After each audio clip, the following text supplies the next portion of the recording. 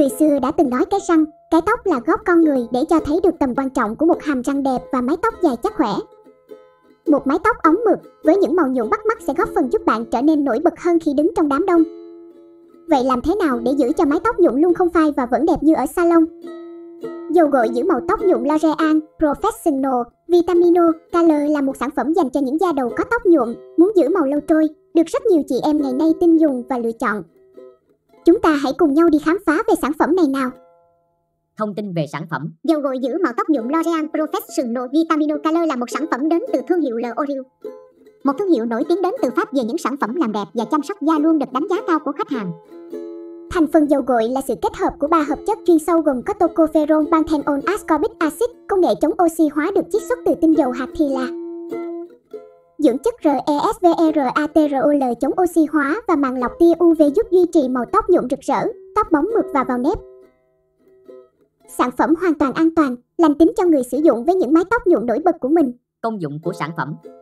Dầu gội giữ màu tóc nhuộm L'Oreal Professional Vitamino Color được nhiều chị em tin dùng và lựa chọn cũng bởi những công dụng nổi bật mà sản phẩm mang lại cho mái tóc như Khả năng giữ màu tóc nhuộm đến 8 tuần, không phai. Giúp chống sự oxy hóa màu trên tóc nhuộm bởi thành phần RESVERATROL được chiết xuất từ vị trái nhỏ ở trong dầu gội tốt hơn gấp 6 lần so với những loại dầu gội thường khác. Công nghệ có emulsion giúp bảo vệ màu nhuộm tốt hơn qua những lần gội. Mang đến cho bạn một mái tóc nhuộm mềm mại, bền màu và bóng mượt rạng ngời. Người sử dụng. những người có tóc nhuộm, tóc thường, da đầu nhạy cảm Cách sử dụng để có thể giữ được mái tóc nhuộm của mình lâu phai. Việc tìm đúng sản phẩm nhưng cũng cần phải biết cách sử dụng sản phẩm đó. Để sử dụng dầu gội giữ màu tóc nhuộm L'Oreal Professional Vitamino Color có thể lên màu tóc đẹp thì chúng ta nên làm như sau. Cho lượng dầu gội vừa phải lên tay, tạo bọt trước rồi thoa đều phần bọt đó lên tóc. Gội đầu hai lần, lần đầu gội nhẹ nhàng để làm sạch tóc, loại bỏ dầu thừa, tạp chất bẩn.